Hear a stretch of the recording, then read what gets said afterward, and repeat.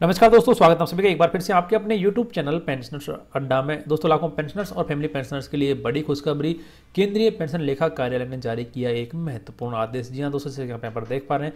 ये केंद्रीय पेंशन लेखा कार्यालय वित्त मंत्रालय व्यय विभाग की तरफ़ से जारी किया गया एक लेटेस्ट नोटिस है और इस नोटिस के अनुसार यहाँ पर लाखों पेंशनर्स और फैमिली पेंशनर्स को बड़ी राहत सीपीओ की तरफ़ से दी गई है। तो सभी केंद्रीय सिविल पेंशनरों को सूचित किया जाता है कि केंद्रीय पेंशन लेखा कार्यालय एक पेंशन अदालत आयोजित करने जा रहा है, जो कि दिनांक 23 अगस्त 2019 को केंद्रीय पेंशन लेखा कार्यालय बीकाजी कामा प्लेस त्रिकूट टू नई दिल्ली पर आयोजित होगी।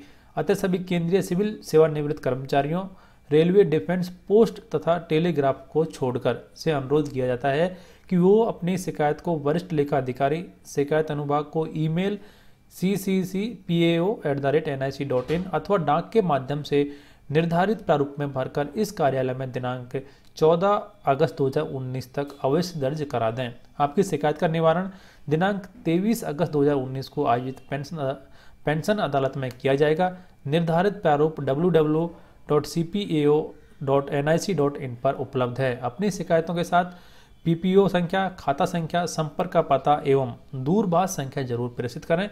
यदि शिकायत डाक के माध्यम से भेजी जा रही है तो बंद लिफाफे के शीर्ष पर पेंशन अदालत 2019 ज़रूर लिखें।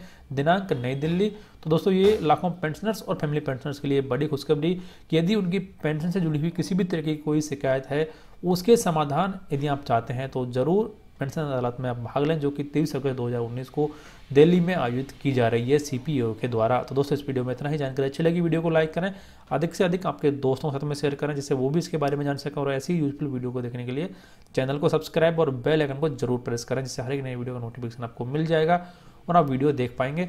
धन्यवाद।